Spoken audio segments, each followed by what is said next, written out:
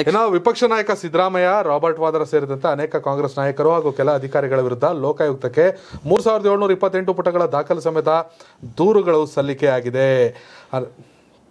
ಹ್ಮ್. ಮತ್ತೊಂದು ಕಡೆ ರಮೇಶ್ ಬೆಂಗಳೂರು ಸೌತ್ನ ಬಿಜೆಪಿ ಜಿಲ್ಲಾ ಘಟಕದ ಅಧ್ಯಕ್ಷ ಕೊಟ್ಟಿದ್ದಾರೆ. ಕಾಂಗ್ರೆಸ್ ಕೂಡ ಹತ್ತು ಬೃಹತ್ ತಗಣಗಳಿಗೆ ಸಂಬಂಧಪಟ್ಟಂತೆ ಕೊಟ್ಟಿದ್ದಾರೆ. George Khader Krishna Byregowda M B Patil Zameer Ahmed Khan Lokayukta ಕೊಟ್ಟಿದ್ದಾರೆ. ಹಿರಿಯ I A S K S ಆಫೀಸ್ಗಳನ್ನು ಸೇರಿ ಕೊಟ್ಟಿದ್ದಾರೆ. ಏನು ಅವರ ಅಧಿಕಾರದ ಅವಧಿಯಲ್ಲಿ ಏನೇನಿತ್ತು? ಅವೆಲ್ಲವನ್ನೂ ಕೂಡ ಪ್ರತ್ಯೇಕ ದೂರುಗಳನ್ನ ಲೋಕಾಯುಕ್ತ ದಾಖಲು ಮಾಡಿದ್ದಾರೆ. ಲೋಕಾಯುಕ್ತ ಮುಚ್ಚಾಕ್ಬಿಟ್ಟಿದ್ರಲ್ಲ ಇವರು ಓಪನ್ ಮಾಡವ್ರೆ. ಹೌದು.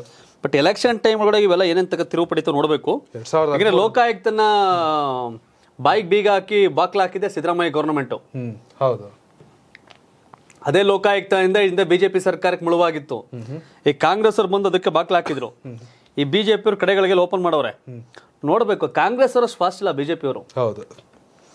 ಕಾಂಗ್ರೆಸ್ ಅವ್ರು ಬಹಳ ಚುರುಕು. ಈ ಕೇಸ್ ಕೇಸ್ ಹಾಕಿ ಲಾಕ್ ಮಾಡೋದ್ರಲ್ಲಿ. ಈ ಬಿಜೆಪಿ ಅವ್ರು ಒಂದ್ ಸ್ವಲ್ಪ ಸಪ್ಪೆ. ಅದು ಎನ್ನ ಪಾಪ ಯಪ್ಪ ಒಬ್ಬನೇ ಓಡಾಟ ಮಾಡೋದಲ್ಲಿ ಉಳಿದವರೆಲ್ಲ ಅಡ್ಜಸ್ಟ್ಮೆಂಟ್ ಗಿರಾಕಿಗಳು ಒಂದಷ್ಟು ಜನ. ನಿಜ. ನಾನು ಎಲ್ಲಿ ದೂರ ಕೊಟ್ರೆ ನಂದೆಲ್ಲಿ ಇವ್ರು ಯಾರೋ ಬಿಜೆಪಿ ಎನ್ ಆರ್ ರಮೇಶ್ ಬಿಟ್ಟು ಬೇರೆ ಯಾರೇ ಒಬ್ಬ ಎದೆ ತಟ್ಟಿ ನಾನು ಹೋರಾಟ ಮಾಡ್ತೀನಿ ಕಾಂಗ್ರೆಸ್ ವಿರುದ್ಧ ದಾಖಲೆ ಸಮೇತ ಅಂತ ಹೇಳ್ಬಿಡ್ಲಿ ಬಿಜೆಪಿ ಅವರು. ನಮ್ಮ ಆಫೀಸಲ್ಲಿ ಕೂರ್ಸಿ ಇಂಟರ್ವ್ಯೂ ಮಾಡೋಣ. ನಿಜ. ಹಂಗೆ ಯಾರು ಒಬ್ರು ಮಾಡ್ರೆ ಅವ್ರು ಒತ್ತು ತಗೋಬತ್ತಾರ ದಾಖಲೆಗಳನ್ನ ಕಾಂಗ್ರೆಸ್ ಅವರು. ಈ ಇದೊಂಥರ ಸಿಂಗಲ್ ಶೇರ್ ಇದ್ದಂಗೆ ಎನ್ ಆರ್ ರಮೇಶ್. ಮಾಡ್ತಿರ್ತಾರೆ.